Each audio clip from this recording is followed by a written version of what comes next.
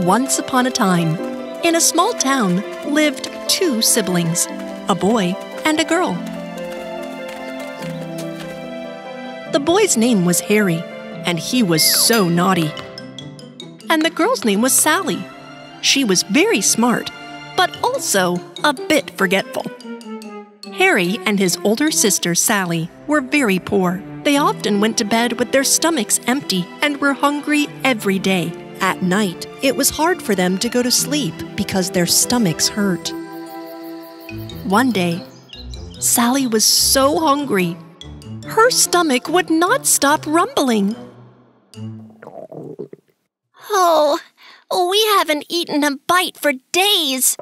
Sally wanted to take a walk in the park to forget her hunger and left the house.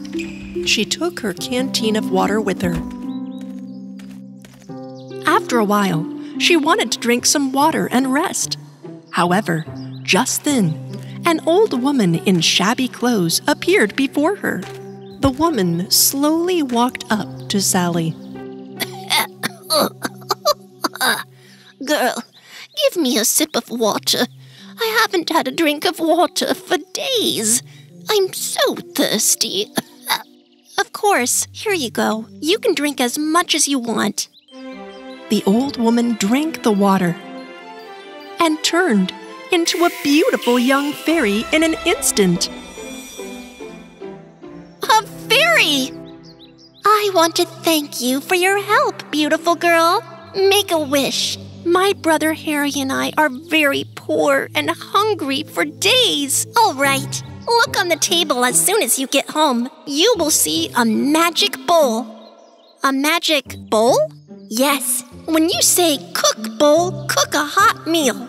It will cook for you sweet porridge. When you say stop bowl, I'm full. It will stop cooking. Now you and your brother will never go hungry. Thank you so much, young fairy. Hey, little girl, don't forget the magic words for the magic bowl. Sally ran back home. Indeed, as the fairy said, there was a bowl on the table. Hmm. Sister, where did this fancy bowl come from? It's not fancy, Harry. It's magical. This is a magic bowl. Okay, but what good is an empty bowl even if it is magic? Now, be quiet and watch. Cook, bowl, cook a hot meal. After the magic words, the bowl suddenly got hot and started to cook sweet porridge. But, but this, how, how does this happen? The bowl is truly magical, so we won't be hungry anymore. Harry and Sally ate not one or two, but ten plates of sweet porridge. And when they were finally done, Sally said the magic words to stop the bowl from making more. Oh, I'm finally full. This porridge is delicious. Oh, I could eat this every day. Mmm. You'll never believe how I got this. Magic. Indeed, Sally and Harry ate sweet porridge for days and never got tired of the taste. One day, before Sally went out, she wanted to tell her brother Harry how to stop the bowl from cooking. I have to tell you something very important. Come now. Harry ignored his sister's call and didn't come to her, so Sally went to him. But just in that moment, she forgot what she was going to say because she was often forgetful. Ah, uh, what is it? Why are you standing over me? I'm sleeping, can't you see? I was going to say something very important, but. You forgot, huh? Classic Sally. A sister with a fish memory. Don't be so mean, Harry. Anyway, I better go. But once she was outside, Sally remembered what she had to say to her brother. Oh, now I remember. I had to remind him how to stop the magic bowl. Oh well, Harry won't wake up until I get home anyway. But sure enough, Harry woke up while she was away and got up from his bed and went to the table because he was very hungry. Cook bowl, cook a hot meal. The magic bowl started to heat up immediately. The home smelled of sweet porridge again.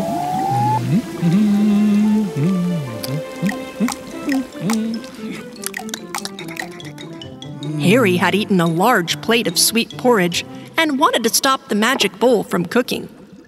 Oh, I ate so much. I think that's enough for breakfast. Stop, bowl. Don't cook, magic bowl. Um, stop. But the magic bowl didn't stop cooking because those were not correct magic words. Um, dish, pocus, hocus, stop. The magic bowl did not stop. It continued to cook sweet porridge. Oh no! What am I going to do now? This bowl won't stop. Stop, broken bowl. You're making a disaster. No matter what Harry said, the bowl kept cooking sweet porridge. By the time Sally returned home, almost the whole house was full of porridge. My brother probably hasn't woken up yet, so now I'll cook him a delicious porridge. Wah! What is this? When Sally couldn't open the door of the house, she looked through the window. And what did she see?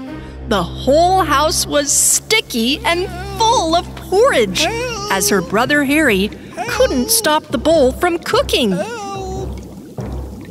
Oh, this is awful! Harry! Uh, oh, sister, help me. I'm gonna fall in. Stop, bowl! I'm full! After Sally's magic words, the bowl finally stopped cooking porridge, so Harry was saved from drowning in porridge. Hey, yeah! Thank you, Sally. What are we gonna do with all this sweet porridge now? Our house is all porridgey. Sally had a great idea. She immediately went and called her other poor neighbors in the neighborhood. Each of them lined up outside Sally's house. While Harry filled the plates with delicious porridge, Sally handed them out to their hungry and poor neighbors. Thank you so much, Sally. You have fed our hungry stomachs. Yum! So delicious! Harry and Sally were very happy to help poor people like themselves. It felt good to help out their starving neighbors. Then, an old, poor looking man came to them. Oh, it is true. A magic bowl of porridge. I've been walking for days to find food for my wife and children. I am so tired. Please, give me the magic bowl that I may go home and feed my family. What are we going to do now, Sally?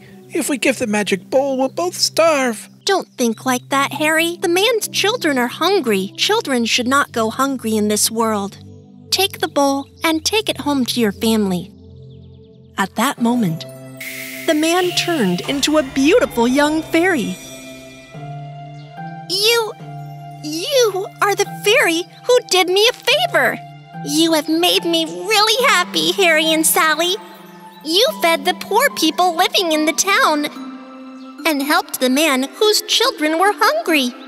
In return for your favor, you can keep the magic bowl of porridge forever. You deserve it. Really? Really? Every day from then on, Harry and Sally continued to hand out porridge to the poor people of the town. Their generous hearts became as sweet as the porridge they shared. As they saw happy children, young and old people with their stomachs full, they also lived a happy and peaceful life.